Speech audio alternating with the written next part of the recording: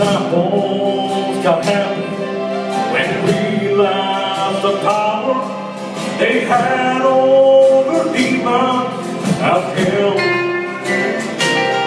But their joy turned to confusion when Jesus reminded them, see, he had already